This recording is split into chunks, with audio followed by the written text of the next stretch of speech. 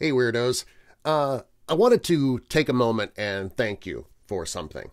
As you know, we have the Weird Darkness machine that's out there on the streets going from place to place to spread the word of the darkness or spread the darkness, as we've been saying, and that was the original intent of it to begin with, to go to the expos, the festivals, the conferences, the conventions, and let people know about the Weird Darkness podcast. Well, I found something else that it's been beneficial for. I take mental health drives, and let me explain that. I was speaking with my counselor recently. I have depression, and in speaking with the counselor, he recommended the mental health drives because I had mentioned once before how when I was in high school and early college and even in my early career in radio, I had a long drive ahead of me and I'd always sing at the top of my lungs while in the car and it really put me into a, a much better mood, a better headspace, in fact. So, as we were talking, he recommended that I start taking mental health drives at least once or twice a week. I really wasn't able to do that until recently because we only had the one car and I don't really like leaving the house with that car for an extended period of time, leaving Robin without a vehicle.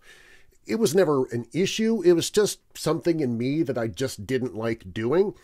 But now we have the, the second vehicle. We have the Weird Darkness machine. So I'm going out. I'm doing the mental health drives. And it's wonderful. Uh, it's it's strange. The whole reason that we bought the vehicle was to promote the podcast, and that's, that's actually still taking place when I'm out there driving around, even if I'm not going to an actual event, because it's a it's a moving billboard. But in taking these mental health drives, I'll drive down to maybe Chicagoland or maybe up to Madison. I'm in Rockford, so it's about halfway between those two. I'll just take a highway and just start driving and just take that mental health break. And it has been amazing. It really has helped to put me in a better mood, to put me in a better mindset.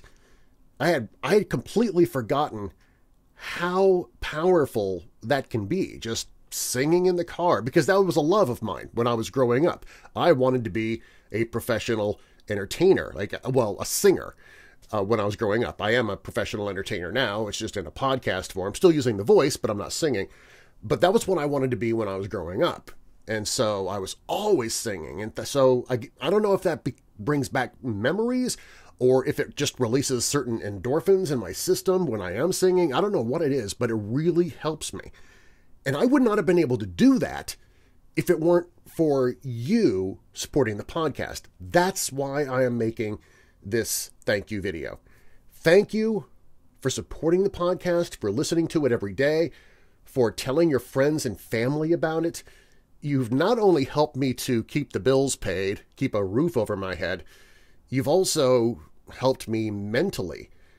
And not just with the car, but with everything else. But this is just one of those things that just recently came up and I'm I'm I'm really I'm seeing a difference. I guess for lack of better words. I'm seeing a positive difference in my life thanks to being able to just take these mental health drives. It didn't have to be a giant Ford Expedition to do that. It could have been, you know, it could have been any car with a stereo that could crank up uh, loud enough that I wouldn't hear myself sing. That's always the best way for me to sing is when I can't hear myself. I'm just belting it out. I'm practically screaming as I'm driving. So it didn't have to be the expedition, but, you know, I guess it's serving a dual purpose. And I have you to thank for that. So please continue to tell your friends about the podcast, especially those who do like the darker content. Tell them not only is it going to help others with depression, it's going to help the host as well. Thank you, weirdos. I, I can't tell you how much I really appreciate every single one of you. God bless you. Have a great night, and I'll see you in the podcast.